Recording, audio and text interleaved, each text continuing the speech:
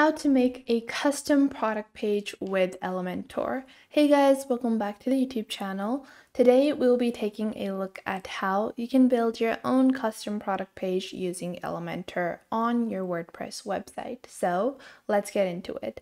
Now, the first thing that we are going to do is we are going to head on over to our WordPress dashboard. And once you are on your WordPress dashboard, you're just going to click on plugins on the left side of your screen, and then you're going to click on add new.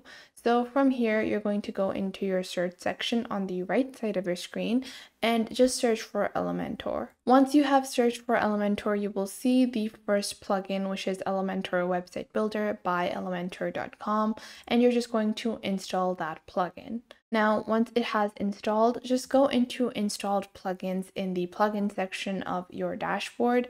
Then you will simply click on activate. Once you have clicked on activate, your plugin will be live. So once you have your plugin activated, you can simply click on Elementor on the left side of your navigation panel, and this will head you on to the Elementor section. So from here, you can begin customizing or building your website using Elementor. Now we are here to make a custom product page. So for that, you can even click on templates over here and once you click on templates, you have multiple different templates that you can get started with. So you can click on categories, you can take a look at the different categories that are available. So you can add different templates over here and you can see you have multiple different uh, theme builders as well that you can use from Elementor if you choose to do so. Now, if you just want to build a simple website custom product page, you can also simply do that with Elementor. So we're going to go on ahead and open up our website and begin customizing using Elementor. So we're going to click on new on the top of our WordPress dashboard. And from here, you're just going to click on page.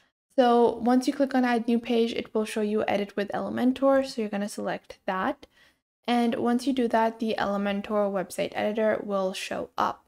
So once you have done that, what we're going to do is we're going to customize this page. So the first thing you're going to do is you're going to click on settings and you're going to title your page. So let's say this is a all products page. And once I've done that, I'm going to go on ahead and go back into the editor and just making sure that everything is saved as it should be.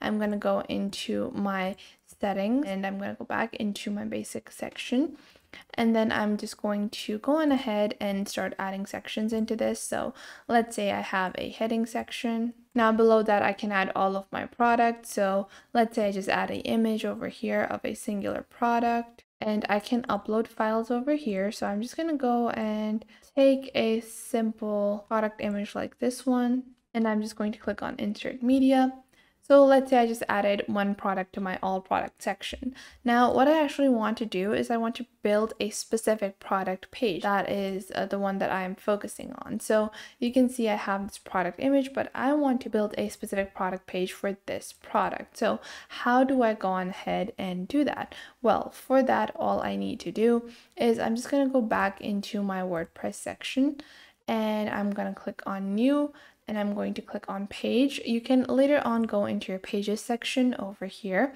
And from here, you can begin quick editing and customizing how they are formulated. But I'm just going to click on add new and I'm going to click on edit with Elementor.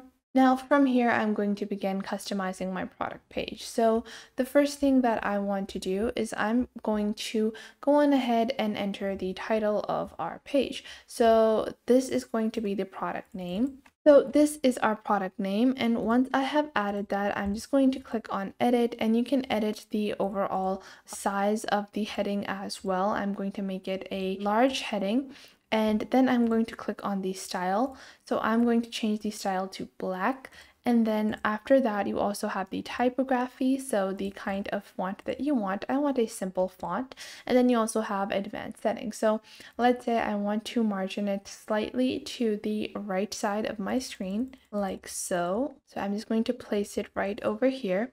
And then you can also add padding, which is also another way of alignment of your WordPress website. Then you also have motion effects you can add. I don't really need that. And then you also have borders, you have backgrounds, you have responsive and other things as well.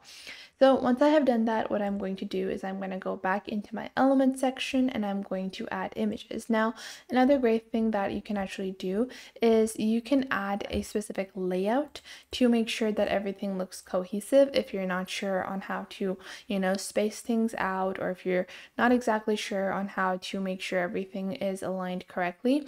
So for that, I'm just going to add a image box and once I have my image box, I'm just going to upload the image. I'm going to click on choose image and I'm just going to actually click on upload images and upload a image of the product. So once I've clicked on upload, I'm going to click on insert media and you can also choose the image size, how you want the image size to be portrayed.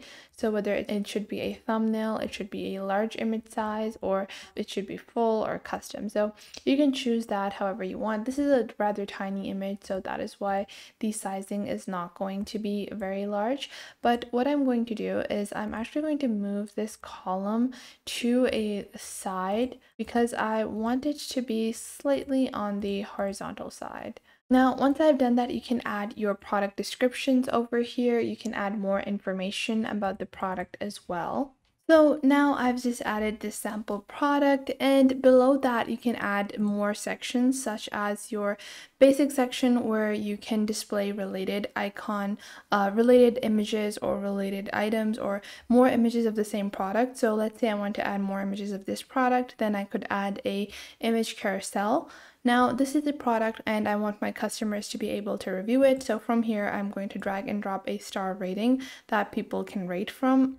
And below that, let's say that I want to also make sure that I have my social media icons, you can add those. And then you also have your WooCommerce integrations. All of those are available over here, which you can integrate onto your page for your specific product. Now, this will enable you to customize each product page and this will give you a lot more hold over these sections present within a product. So not only can you add, you know, simple sections, but you can also add multiple different tabs. So let's say you have a product with variability. So let's say you have like a product that has two different volumes. So let's say you sell like a hair oil. So if you're doing that and you have one version which sells, which is 100 ml and the other is uh, 200 ml, then you can create this simple tab section to enter more information about that. And then if you scroll down over here, you also have a menu anchor that you can add where people can go into specific or related pages or even go into a different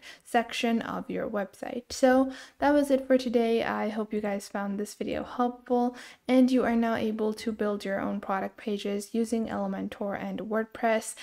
Make sure to leave a like and subscribe to the YouTube channel and if you have any questions or queries, leave them in the comment box down below and I will catch you guys in the next video.